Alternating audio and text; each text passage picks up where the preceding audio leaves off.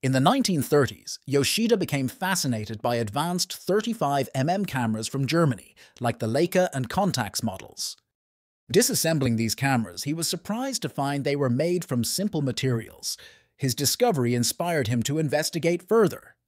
Fast forward to 1933, he, along with his brother-in-law Saburo Uchida, formed the Precision Optical Instruments Laboratory. Their collaboration resulted in their first prototype, Kwanon, Japan's first 35mm focal plane shutter camera.